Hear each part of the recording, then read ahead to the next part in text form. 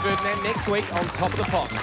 The album Riverhead is number two in the charts this week, despite the fact that it's been released for well over a year. Now, how does that happen? Well, Goldenhorse's songs are that good. So good, in fact, that their upcoming live shows are featuring the Auckland Philharmonic and the Christchurch Symphony Orchestra.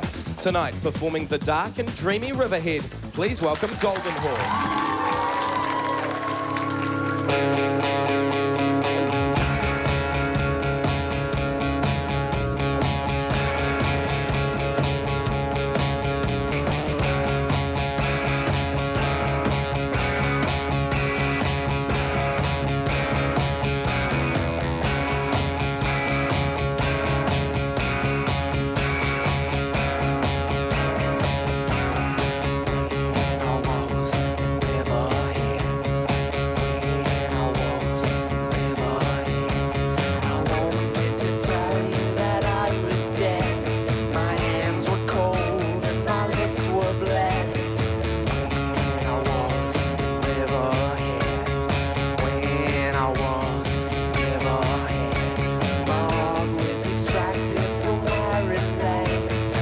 Skin was torn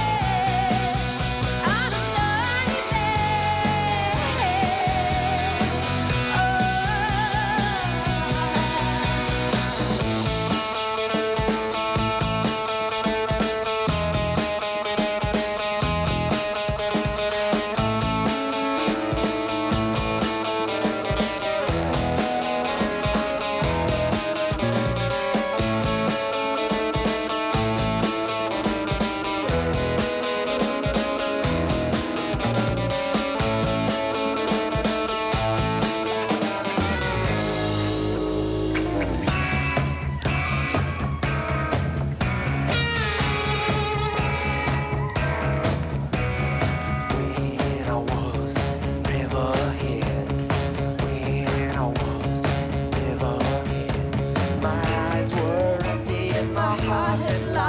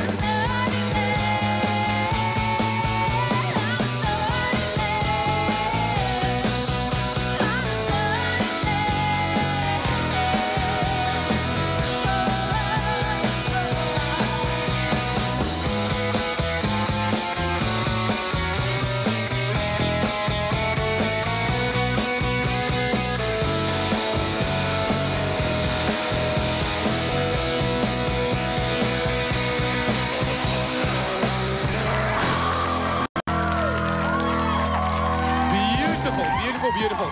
Coming up, the Finnish band who have come out of the shadows and into the charts. Wellington's Autozamm, Misfits of Science. He's such